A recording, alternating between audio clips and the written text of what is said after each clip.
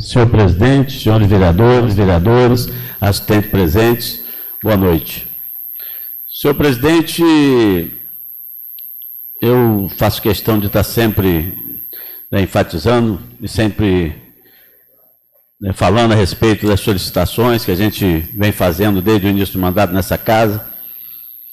E eu fiquei feliz com, com o que pude ver agora, né, nesse mês de outubro, lá no bairro do Porto. Eu estive né, na rua Paulo Roberto Dias em 2017, né, como sempre eu faço, eu tenho registrado por fotos. E atendendo aí a solicitação dos moradores, a gente documentou a solicitação de pavimentação e alguns serviços na época. Retornei em 2018, mais uma vez. A gente fez outra indicação e também eu registrei minha presença lá. E em 2019 eu reiterei a solicitação. Aí estive no local, e tive a satisfação de ver o serviço executado, os moradores satisfeitos, e é motivo de alegria para a gente, de satisfação e de elogio quando a gente vê o retorno dos nossos impostos em prestação de serviço em políticas públicas para a nossa população. Então, às vezes a gente faz determinadas colocações, é o meu jeito de, de, de, de divulgar as minhas ações né, desde o início do mandato, né, eu, eu posto as minhas solicitações, as minhas visitas, e isso não quer dizer que a gente quer abraçar né, as realizações e dizer que fez porque foi Barcelos. Não. O pedido meu não é o pedido do Barcelos, mas é o pedido do povo. E a gente agradece quando as coisas acontecem, que também não foi só eu que pedi, eu tenho certeza que outros colegas devem ter pedido também. Então, a gente parabeniza a todos e o Executivo pela realização. Eu apresentei em 2017, foi votado nessa casa, um anteprojeto de lei que dispõe sobre a implantação de sinalização vertical horizontal diferenciada próximas áreas escolares. E o que é de suma importância, né, vale ressaltar que o Brasil é um dos recordistas né, do trágico índice de acidente de trânsito, com média de 38% ao ano das mortes ocorridas no trânsito, com consequência de atropelamentos em consequência de atropelamentos. Então, com isso, torna urgente a adoção de medidas de segurança voltadas aos pedestres. E a preocupação nas áreas escolares, com os pedestres que nessa circulam, se justifica por ser esse público, né, crianças, adolescentes, é, mais suscetível ao risco iminente de acidentes. Né, o que nos leva a crer que uma melhor sinalização apontando a área de intensa circulação de pessoas é extremamente necessária e urgente. Dito isto, eu encaminhei né, e reiterei uma solicitação de sinalização num cruzamento é, na área central, onde temos ali a rua Tereza de Paula Rocha, Esmeralda Fernanda da Fonseca, Antônio Lopes de Oliveira. Nós temos ali também uma escola, né, uma área muito movimentada, de tráfego intenso, e veículos é, geralmente em alta velocidade, principalmente motociclistas, pondo em risco ali as crianças, alunos, os pais e todos que circulam por ali. É, fica ali naquela rua é, dirigindo móveis, né? muitas vezes a gente fala o nome, a pessoa não sabe identificar, indo em direção ali à churrascaria do Sassá. Enfim, a gente reiterou a solicitação ali para a sinalização do local. É, eu apresentei hoje a indicação legislativa a respeito de, da sinalização né, que nessa travessia elevada, nas travessias que estão sendo instaladas na cidade, ou de uma utilidade é, sem comentários né, a respeito da, da necessidade né, da instalação das travessias.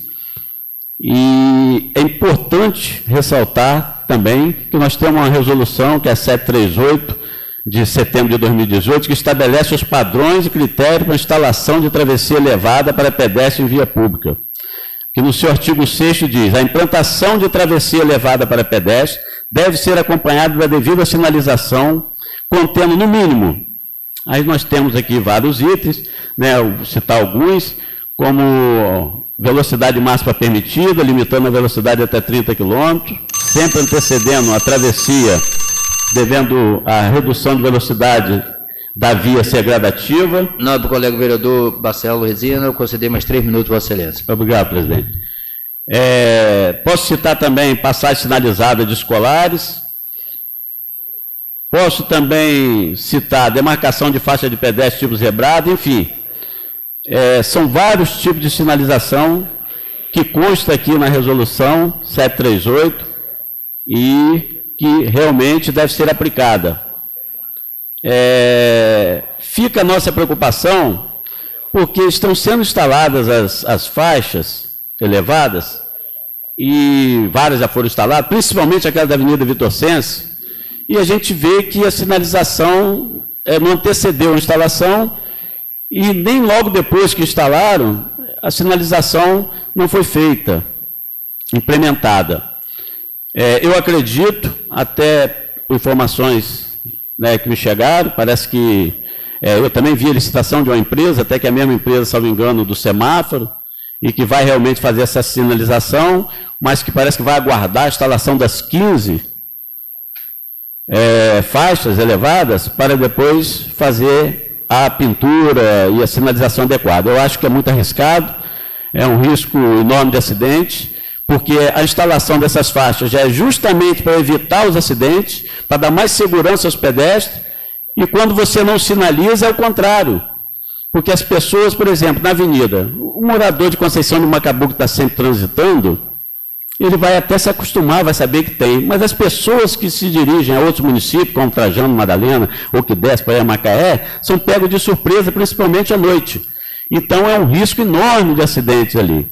Então a gente pede, né, indica, né, para que seja cumprida a resolução e que seja sinalizado adequadamente, né, para podermos evitar determinado tipo de acidente. Aí questionar a altura né? No artigo 4 a gente diz que a altura deve ser igual à altura da calçada. Eu verifiquei, fui nas me vi que realmente eles estão seguindo a altura do meio-fio. Então, muitas vezes tem um meio-fio, tem uma área que é mais alta, também tem um limite até 15 centímetros.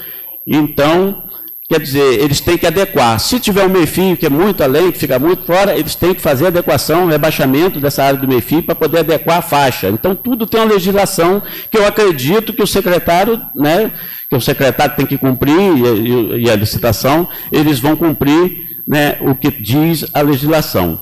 Eu posso também é, é, dizer aqui, elencar, é, por exemplo, em locais desprovidos de iluminação pública, não pode construir a faixa. Então, a gente tem essa deficiência na iluminação pública do município, tem que atentar para isso.